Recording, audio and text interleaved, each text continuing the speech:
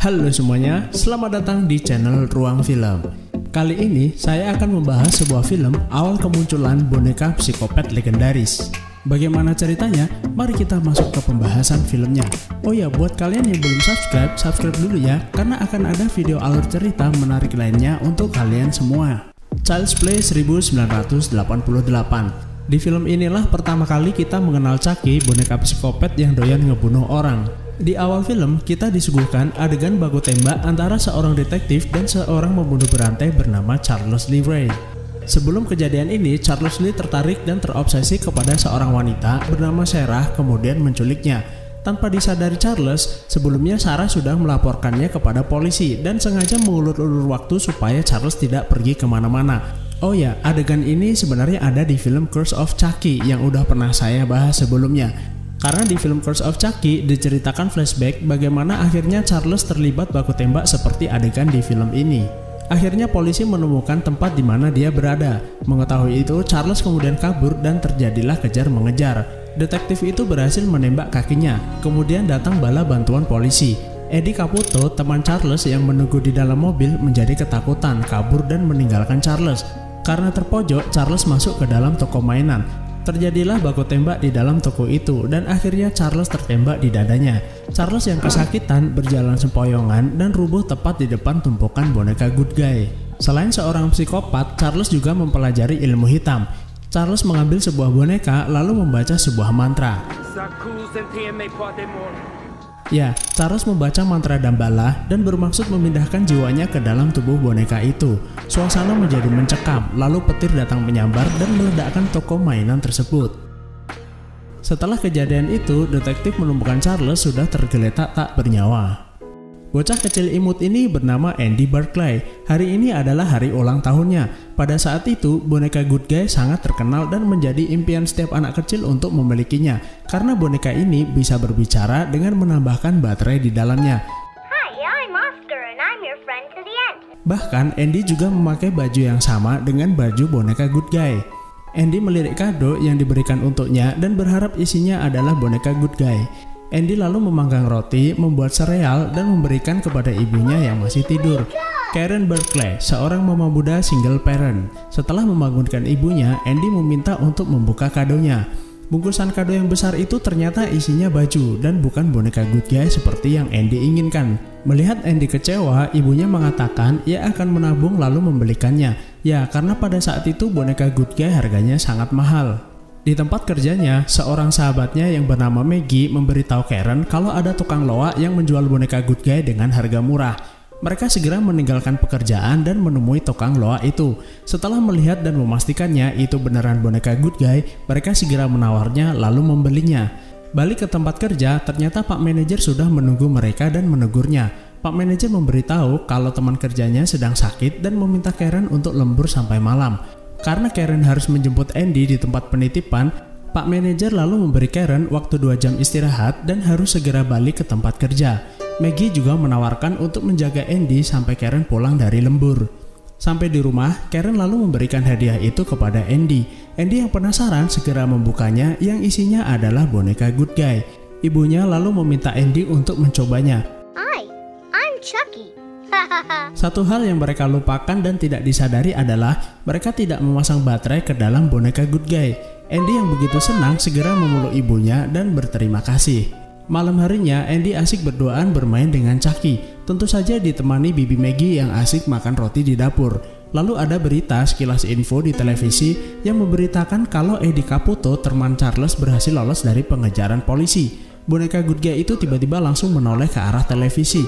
Sudah kita duga kalau boneka ini adalah Charles Lee yang sudah berpindah jiwa ke dalam tubuh boneka.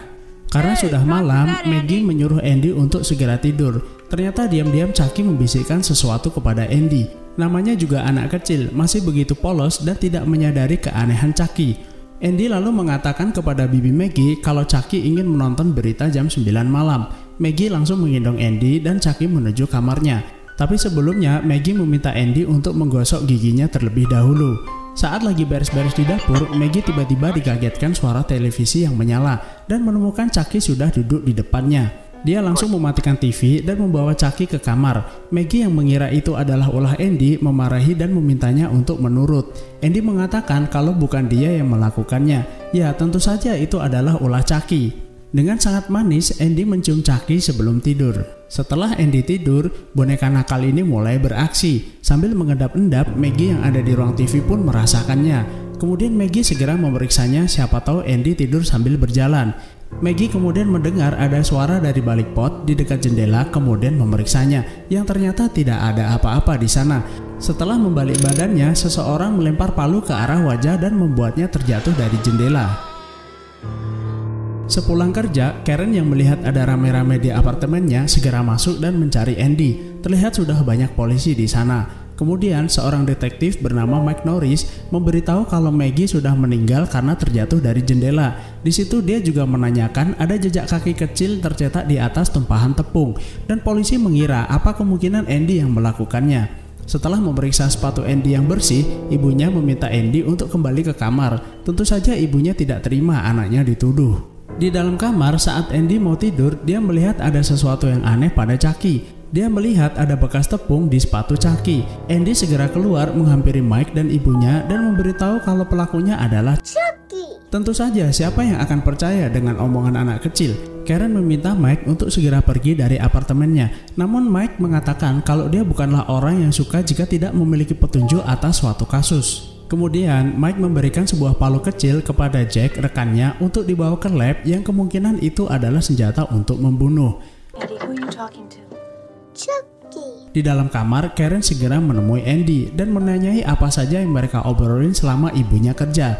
Andy mengatakan nama asli Chucky adalah Charles Lee Ray yang dikirim dari surga oleh ayahnya untuk mengajaknya bermain.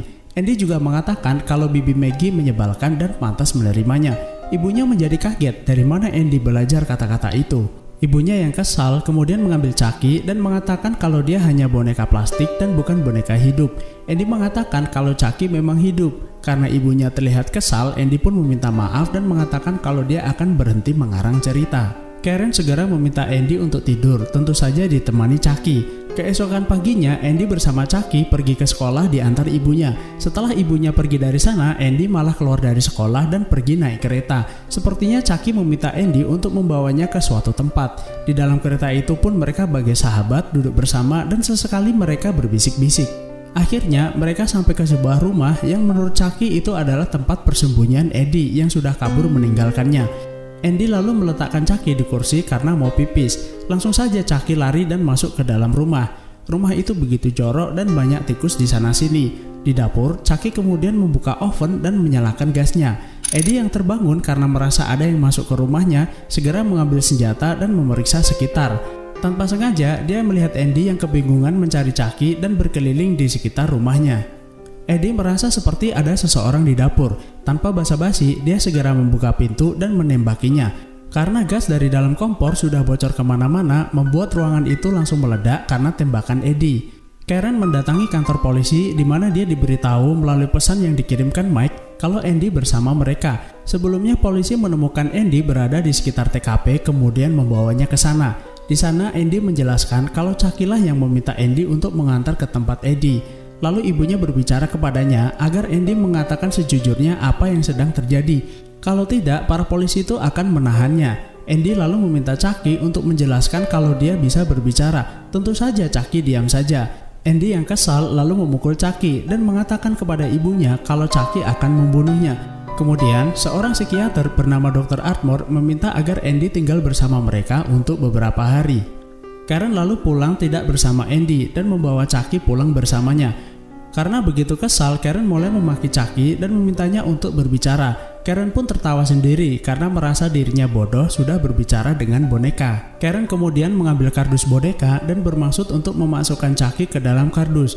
Tiba-tiba ada sepasang baterai terjatuh dari dalam kardus. Karen menjadi ngeri lalu mendatangi Chucky dan membuka tutup baterainya yang ternyata selama ini Chucky tidak dipasangi baterai. Tiba-tiba Chucky berbicara karena kaget Karen melemparnya. Dia lalu mengambil boneka itu dan membawanya ke perapian. Sebelumnya, dia mengancam Chucky agar Chucky mengatakan sesuatu. Kalau tidak, dia akan membakarnya. Chucky tiba-tiba berteriak, mengamuk dan memukuli Karen. Boneka psikopat ini juga menggigit tangan Karen. Setelah melemparnya, Chucky kabur keluar. Karen segera mengejarnya, namun sayangnya dia kehilangan jejaknya. Karen segera menemui detektif Mike dan mengatakan kalau boneka itu benar-benar hidup. Mike pun tidak percaya begitu saja. Lalu Karen pergi dan mengatakan akan mencari Chucky di mana dia membelinya pertama kali. Mike mengatakan kepada Karen kalau daerah itu berbahaya. Sampai di sana, dia bertemu dengan penjual itu dan menanyanya dari mana ia mendapatkannya. Penjual itu lalu meminta uang kepada Karen jika Karen ingin mengetahuinya. Karena nggak cukup uang, laki-laki itu mulai menggodanya. Untung saja Mike datang tepat waktu dan menyelamatkannya. Mike lalu menanyai penjual itu dari mana dia mendapatkannya. Dia mengatakan kalau penjual itu menemukannya di sebuah toko mainan di mana Charles Lee mati. Mendengar itu, Karen sepertinya ingat dengan nama yang pernah disebutkan oleh Andy. Mike juga mengatakan kalau Charles Lee adalah psikopat dan juga teman Eddie. Karen lalu berniat pergi ke toko mainan itu dan Mike bilang kalau toko itu sudah hancur tersambar petir, bertepatan dengan kematian Charles. Mike segera mengantar Karen pulang. Sampai di depan apartemennya, Karen menyadari kalau Chucky sebenarnya adalah Charles. Hanya saja dia tidak tahu bagaimana jiwanya bisa pindah ke tubuh boneka. Karena menyangkut keselamatan anaknya, Karen memaksa Mike untuk memberitahu di mana Charles tinggal. Setelah memberitahunya, Mike yang kesal segera meminta Karen keluar mobil lalu meninggalkannya. Mike yang sebenarnya penasaran balik ke kantornya dan mengambil berkas milik Charles. Di dalam mobil, Mike mengambil sebatang rokok untuk menenangkan pikirannya, kemudian menyalakan lighter. Tanpa dia sadari, Chucky sudah berada di dalam mobil dan mencekiknya dengan sebuah tali. Boneka psikopat ini membuat Mike tidak dapat mengendalikan mobilnya. Mike lalu mengambil lighter di depannya untuk melukai Chucky. Chucky yang kesakitan melepas tali yang digunakan untuk mencekik Mike. Kemudian Chucky menusukkan pisau dari bawah kursi dan hampir saja mengenai keris pusaka milik Mike. Adu sengit di dalam mobil membuat mobil itu hilang kendali dan akhirnya terbalik. Chucky kemudian keluar mobil dan bersiap menyerang Mike dari dalam. Mike berhasil menembak Chucky dan membuatnya kabur. Keesokan harinya, Karen pergi ke rumah di mana Charles tinggal. Di dalam rumah itu, dia melihat lukisan-lukisan yang menyeramkan. Selain seorang psikopat, Charles adalah pemuja ilmu hitam, termasuk tulisan ilmu sihir dan bala yang bisa membuatnya hidup meskipun sudah mati. Gak disangka, Mike juga pergi ke sana. Dia mengatakan kepada Karen kalau dia mengambil berkas milik Charles. Dia menemukan informasi kalau Charles memiliki nama panggilan Chucky, dan selama hidupnya dia tinggal bersama orang yang bernama John, yang tak lain adalah guru sihirnya mereka harus segera menemukannya sebelum Chucky. Oke, kita pindah ke rumah John. John kaget ada boneka hidup di depannya, lalu dia memberitahu kalau dia adalah Chucky temannya. Chucky bertanya kepada gurunya kenapa dia bisa merasakan sakit dan berdarah meskipun sudah pindah jiwa ke dalam boneka. Lalu gurunya mengatakan kalau Chucky menjadi manusia. Semakin lama jiwanya berada di dalam tubuh boneka, dia akan seperti manusia, bisa berdarah dan merasakan sakit. Chucky lalu meminta gurunya untuk memberitahu bagaimana caranya keluar dari tubuh boneka itu. Tentu saja gurunya tidak mau memberitahu karena Chucky adalah psikopat menjijikkan yang sangat keji. Saat gurunya hendak menelpon polisi, ternyata Chucky sudah mengambil boneka Mojo milik gurunya, ya semacam boneka santet. Kemudian Chucky mematahkan kaki boneka itu dan tentunya membuat kaki gurunya ikutan patah. Karena tetap tidak memberitahu, Chucky kemudian mematahkan tangannya. Gurunya yang terdesak memberitahu kalau dia bisa menukar jiwanya ke dalam tubuh orang yang pertama kali mengetahui rahasianya. Siapa lagi kalau bukan Andy? Setelah mengetahui itu, psikopat ini tentu saja tetap membunuh gurunya. Mike dan Karen akhirnya sampai ke sana dan menemukan John sudah dalam keadaan sekarat. John lalu memberitahu Karen untuk segera pergi ke tempat Andy sebelum Chucky berhasil menukar jiwanya dengan Andy. Untuk menghentikannya, mereka harus menembak Chucky tepat di jantungnya, karena jantungnya sama seperti jantung manusia pada umumnya. Andy yang saat ini berada di rumah sakit dari balik jendela melihat Chucky datang. Karena ketakutan, dia minta tolong namun sayangnya dokter tidak memperdulikannya. Chucky yang berhasil menyusup mengambil kunci kamar Andy. Sampai di kamar, Chucky segera mengeluarkan pisaunya untuk berjaga-jaga. Andy berhasil mengelabuinya. Andy segera keluar kamar dan kabur untuk bersembunyi. Ternyata Chucky berhasil menemukan tempat persembunyiannya dan melompat ke arah Andy. Andy bersiap dengan pisau di tangannya, namun dokter berhasil menemukan Andy dan akan menyuntiknya dengan obat penenang. Chucky yang sudah ada di dalam menyerang dokter dan memakaikan kepala dokter itu dengan alat kejut listrik. Dokter itu pun langsung tewas gosong karena kesetrum. Mike dan Karen yang sudah sampai ke rumah sakit segera mencari Andy dan mereka mendapati Dr. Atmore sudah tewas dan polisi mencurigai Andy adalah pelakunya. Andy yang sudah tidak ada di sana kemungkinan dia kabur dan pulang ke rumah. Andy yang sudah sampai ke rumah segera mengunci pintu dan bersembunyi ke dalam lemari baju. Karena pintu terkunci, Chucky masuk melalui cerobong perapian. Andy ternyata memutuskan keluar sambil membawa tongkat, dia berniat memukul Chucky. Tapi sayangnya Chucky mengagetkannya, memukul Andy dan membuatnya pingsan. Saat itulah Chucky mulai membaca mantra Dambala. Give me the power, Chucky yang belum menyelesaikan ritualnya digagalkan Mike dan Karen yang sudah sampai di sana. Psikopat ini kemudian menggigit Karen. Melihat itu Mike segera menolong Karen dan saat itulah Chucky melukai kaki Mike. Mike lalu memberi Karen pistol untuk berjaga-jaga. Mike yang mencari Chucky di dalam kamar tiba-tiba diserang Chucky dan memukulnya sampai pingsan.